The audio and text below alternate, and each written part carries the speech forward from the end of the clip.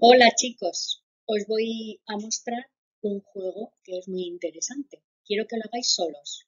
Os leo. ¿Qué es un Tangram?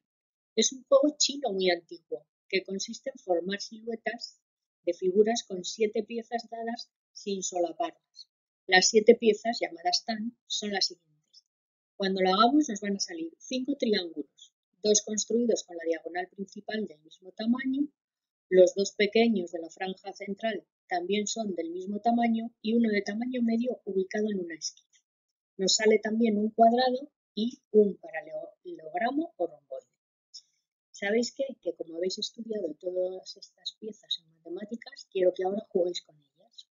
Venga, pues adelante. Bueno, pues ahora vamos a construirlo. ¿Qué necesitamos? Necesitamos un folio, unas tijeras, una regla, un lápiz y para finalizar unas pinturas para que nos quede bonito y ya veréis qué resultado tan estupendo.